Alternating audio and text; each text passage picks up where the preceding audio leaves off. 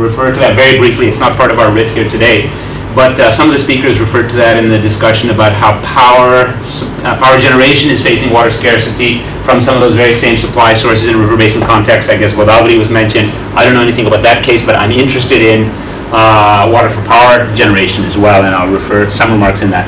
I'm based in, I'm at the University of Arizona, and I'm in a public policy center, and then my academic link is in the School of Geography and Development, where I have my students and so forth. I'm also leading an initiative that's called AquaSec, which is water security uh, in arid Americas, uh, and that covers uh, parts of U.S., Mexico, Brazil, uh, Chile, and Argentina. So there's some BRICS links, which I'm also interested in Brazil. I'll refer to some remarks on that. Many of you would have seen uh, these figures, which were uh, done based on satellite remote sensing.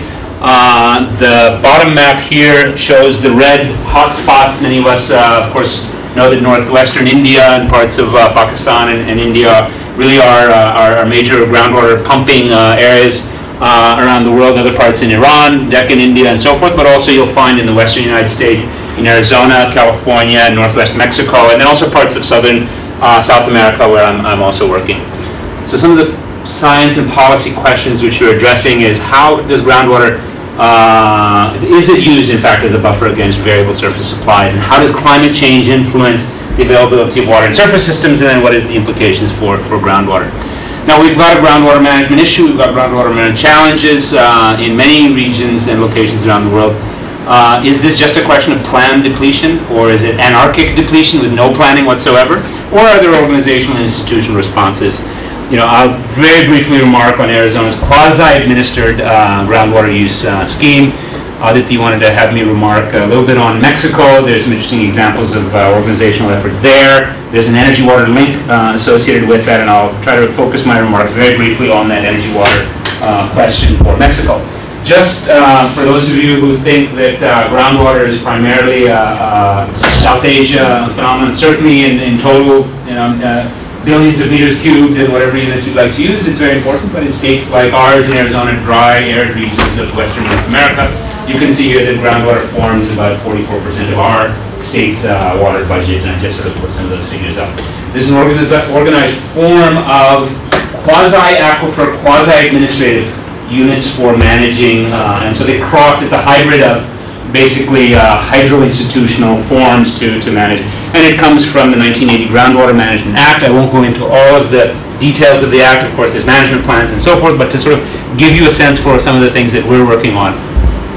Safe yield, which is the notion that pumping should just be in line with uh, annual recharge is basically gone out. I mean, these are storage aquifers, and so they should be depleted at some level in conditions of scarcity, but they should be allowed to replenish in times of surplus. This is where we often don't actually make the case because we have installed capacity now to pump those aquifers, so even in high uh, recharge years, we continue to pump it at uh, non-sustainable rates. So there's a series of provisions in the, in, in, in the law that uh, establish these and so forth, and again, I won't go into this in too much more detail. But because there's growing pressure from non-agricultural uses of water, particular pressure on groundwater, assured water supply rules have been established for urban growth, industrial, commercial, residential, all the non-agricultural uses now have to meet assured water supply rules to say you can't just come and do uh, urban development in, in a certain location.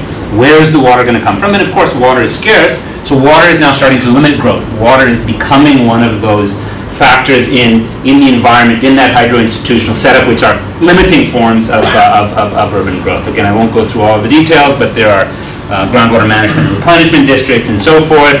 A lot of interest uh, when I uh, give talks of this kind in South America as well. You know, if you actually have some surface water and you're talking about using this intraannual storage of the aquifers in some fashion, what sorts of forms of aquifer recharge? And what I'm interested here is less the permeability and the coefficients of infiltration of the aquifers, which are important, but the design engineers have, have, have, done some of those studies. But again, looking at the whole institutional setup associated with how does that water get accessed, how, who actually recharges it, who claims credit for it in the future, and what are the permitting and siting and, and uh, water quality protection mechanisms. And here are some of the examples. And uh, now let's start transitioning over a little bit because I know my time is probably already going to be up fairly soon.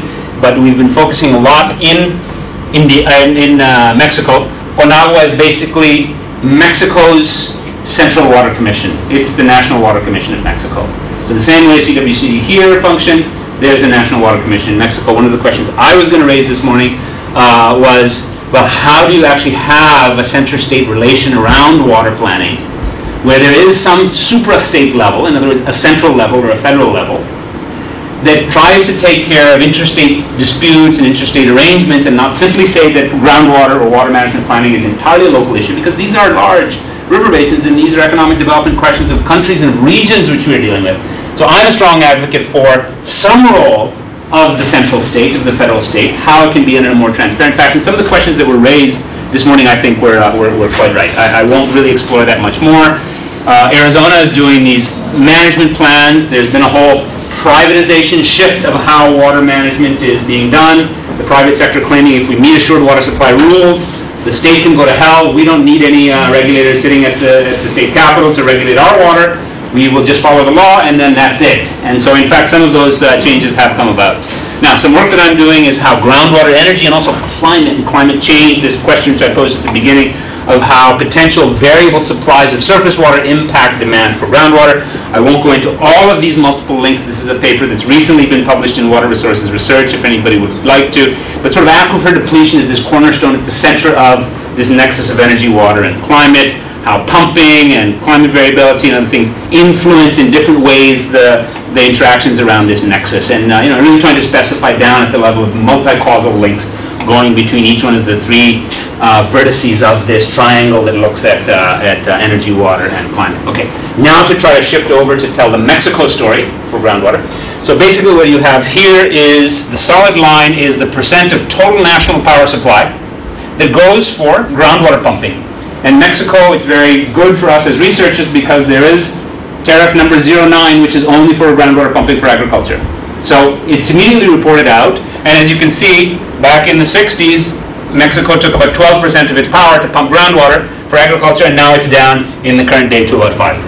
So that's the overall picture. But of course, the total sector has been growing very dramatically, and so year on year, this is the increases. Now, here's an interesting point which I'll show. This is when nighttime power tariffs were introduced. So for agricultural farming, farmers can get a preferential tariff if they promise to pump only at night. In fact, it's time of day metering. So they just switch on the meter, I mean, they switch on the pump and the meter detects the daytime and nighttime rates and charges them accordingly. And I can come back a little bit.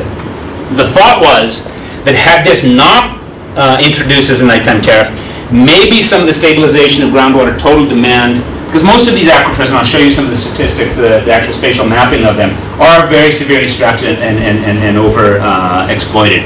And so with the increase after the nighttime tariff introduction, it's possible that a power solution for the power company which would like to offload its peak power, I mean its non-peak power at nighttime at a preferential tariff, may have had a negative impact for, uh, for the groundwater aquifers. We'll come into this. And now looking at the actual individual states. And so where Tushar and colleagues and everything, everybody has said, Mehsana North Gujarat is India's groundwater basket case. Well, let me introduce you to Mexico's groundwater basket case, which is the state of Chihuahua, uh, the dog named after the state, uh, and, and, and so forth. And so what you can see here is many of the large states with consumption, I've done work in Guanajuato, I've done work in Sonora, in fact I'm living in the adjoining state of Arizona.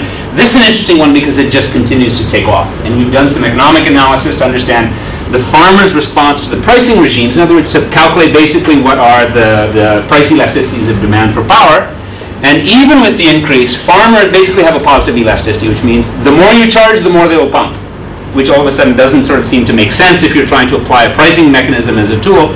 But what it turns out when you actually go and speak with the farmers, there are a, whole series of whole-scale write-offs of power debt. And so the state is then subsidizing power debt on the part of farmers. So what appears to be an increased pumping response in, in, in response to a, an increase in tariff, of course, doesn't quite work out that way in the conventional microeconomic sense.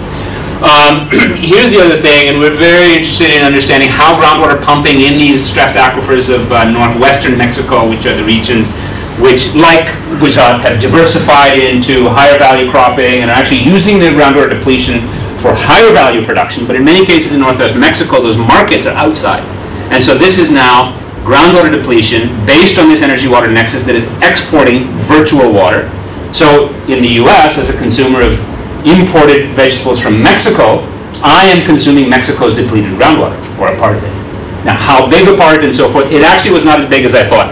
We did these numbers and actually came up with the total surface and virtual surface and groundwater total amounts of about 2 cubic kilometers per year. Mexico's total groundwater pumping budget is about 30 uh, cubic kilometers per year, or about, uh, what, one-eighth of, of, uh, of India's. And it's a country of about one-eighth the population of, uh, uh, of India. It's about two-thirds the size of India, so you can picture this probably extends the length from Kashmir to Kanyakumari, but it's slightly narrower because, uh, so this is 2 million cubic square kilometers, 3 million square kilometers. It's a, it's a large uh, landmass.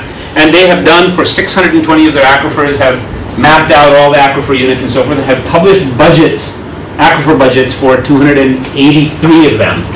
The notion being that in this aquifer, if there's availability, concession titles can be granted for new developments, or where concession titles are time-bound, the state can withdraw them after a period of time to say, no, this aquifer system is overstressed, the sum total of concessions is higher than the sustainable yield, we will start withdrawing the concession. This is actually the role for uh, a central state function that not that cannot be exercised exclusively at the local level. And, and, and there are some interesting benefits associated with that. So what these two um, figures represent, this is the analysis to say if annual increases in this tarifa nueve, this uh, tariff number nine, which is the agricultural pumping tariff, were allowed to increase year on year over the same period as climate change and urban and agricultural growth demographic, I mean dem demographic driven changes were allowed to play out at the same time.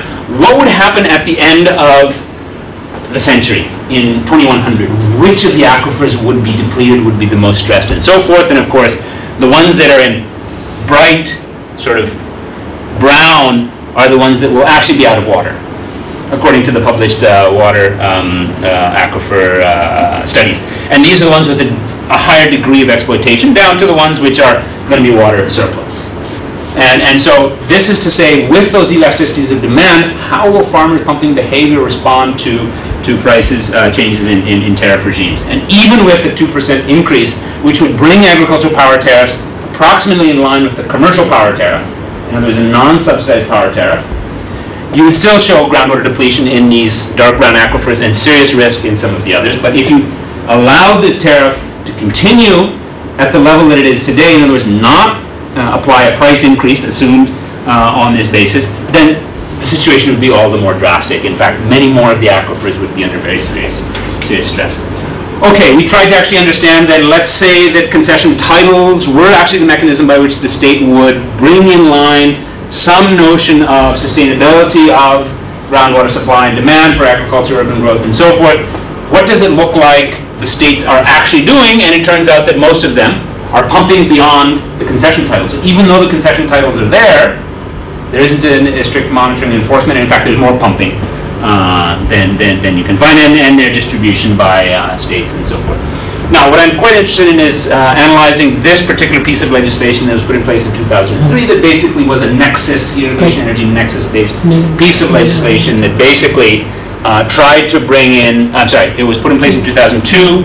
There were further uh, revisions to the regulation. and The nighttime power tariff undid that, uh, uh, I think, quite enlightened attempt to actually bring in place energy legislation that will look at a whole set of rural uh, livelihood and water uh, questions where power demand was tied to uh, groundwater demand and there were uh, mechanisms to, uh, to, to, to, bring that into to some form of sustainability with a longer term vision for the really the viability of these rural production areas over a, a period of centuries and so forth. I know Mark's looking at his watch already, uh, so let me wind up very briefly by saying there's a National Water Commission. This is like the Central Water Commission. There is also, but unlike India, they're not state electricity boards. There's a Federal Electricity Board, basically. It's, it's uh, the Federal Electricity Commission. And so these two have different roles in the cabinet. One is a commission, one is a, uh, I mean, one is a federal commission, one is a national commission. There's some asymmetries in the power imbalances when they negotiate. The CFE, because it brings in huge resources through payment of fees and tariffs and so forth, is a much more powerful body than the National Water Commission. And so then you start getting into some differential associated with will you get these two federal level bodies to, or central level bodies start uh, to you know, work together. Um, a little bit on these COTAS, as uh, they're called, groundwater um, technical committees, which are formed to basically try to bring some order as you were, as it were. This is the sort of the planned depletion side. If anybody's going to do planned depletion, maybe the planned depletion should be done by the farmers themselves, right? And so this is the idea of trying to get the farmers organized around uh, these groundwater questions. Let me zip through these together in one minute, which is now the flip side of the nexus, which is to try to say, well, what is the actual water requirement for power generation across a whole range of futures? And starting with global level assessments associated with power generation by sector, looking at these four sectors, conventional thermal, non-renewable, uh, non-hydro renewable. Hydro is a big one. This is my next big energy water nexus question right here, I think is the hydropower side. Uh, and we're trying to focus in on that. But, you know, looking at some of these important countries in terms of size and growth, of course, not just the BRICS, but, uh, you know, you have, uh, you know, U.S., Canada, Saudi Arabia, Mexico is also a, a big player in, in, in some of this looking at trajectories over time, some of these key trends associated with where power generation and our power demand as societies and economies are growing globally, and what impact that will have on water resources at the local level to meet, uh, to meet generation needs. Uh, and, and there's a lot of interest also in uh, seawater cooling, there's a lot of interest in wastewater, effluent, or raw sewage water being used for these purposes. So we want to preserve fresh groundwater aquifers for drinking purposes and for high-valued agricultural uh, production, maybe some of the lower quality waters, the saline waters, the wastewaters and others can be used in the, in, in the power sector. So we're trying to understand some of this. Sorry, I'm just going to go through these very quickly, applying some of the coefficients associated with how much water you actually need to generate the unit of power, and then looking at some of these different uh, sort of you know baselines across the hemisphere. And this reflects a little bit more our focus on these arid Americas countries, and Brazil is an interesting case in point.